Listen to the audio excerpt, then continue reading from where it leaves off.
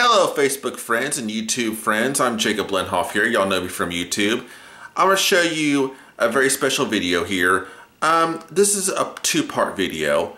Um, I went down to um, downtown Hamilton recently and met a woman named Melissa Hannon. She's a very talented painter.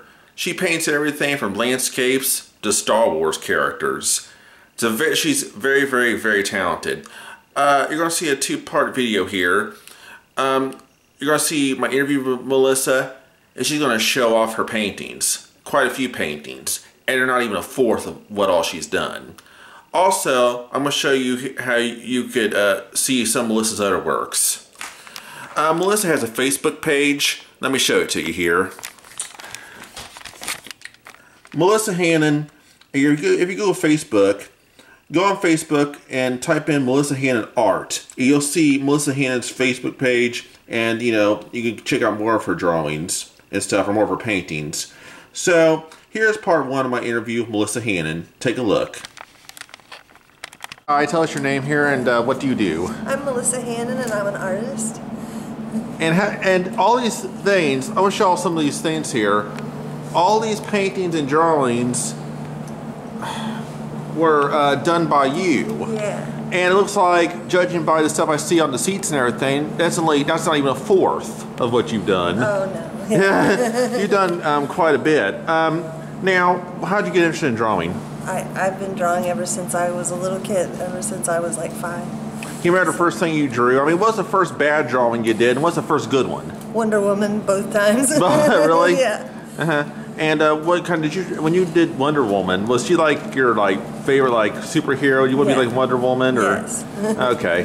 What was it about? What now? How did you like draw her? Basically, you had like you had to draw the stars and the stripes and all that Yeah. stuff. Did you enter that into like a talent show or anything like that when you drew it? No, but my mom had like boxes full of just Wonder Woman when I was little. Really, like Yeah. comic books and all that yeah, stuff. just by drawings. Oh. From when I was little, like boxes full of them. How that many was drawings my main you- subject. How many drawings did you do of Wonder Woman? Can you have an estimate? Oh, hundreds. hundreds. That was the only thing I would draw forever. Never tried Batman or Superman or anything like that? no. Okay, now I want to show, let's go over and see some of your drawings here. Um, I want to focus on this one for a minute. Okay. We'll focus on this drawing. Now, everyone can see this drawing here, this woman in the red dress. Um, where'd you get the inspiration from? It, that one was really just from my head. I really just wanted to do something with more autumn colors, and I just painted that from my mind. Okay. Okay, now, so, so how will it take, well, first of all, um, how did you select the colors here, and where did you get the idea for the red hair and stuff like that? Like, where did you get the, get the colors? And what kind of, what did you use? Like marker? Um, that is actually my. It's an acrylic painting, and it's one of my first attempts at acrylic painting. I- okay, what's acrylic? It's uh, just a type of paint that dries a lot faster. I usually paint in oil, Mm-hmm. and the, it's just a different style of paint. Yeah. Okay, now for the woman though, I was wondering. This is really a nice little picture. You know, beautiful red hair, um, beautiful dress here. It looks like yeah, kind of yellowish, like pinkish, kind of purplish, kind of mix. Was there any women like your mother or any relatives or anyone you've seen on the street that was inspiration for that character? Sure, my mother is a big inspiration for a lot of my pieces, and I feel like a lot of my pieces look like her.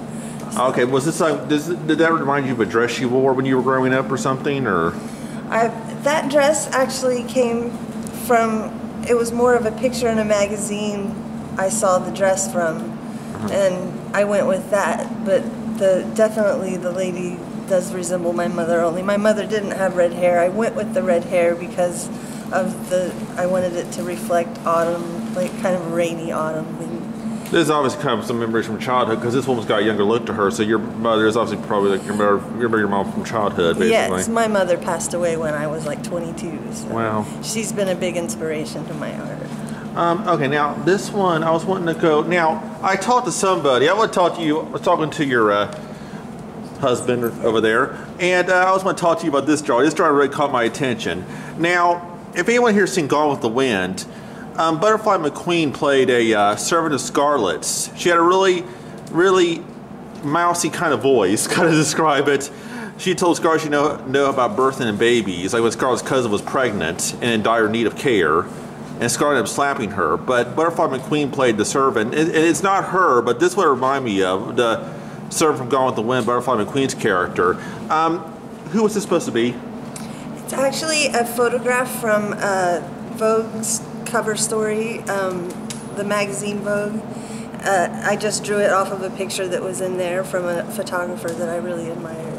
Oh, so you kind of like just you, you like put it up and you just like look down and kind of Yeah. did your best to try to duplicate it. Yes, exactly.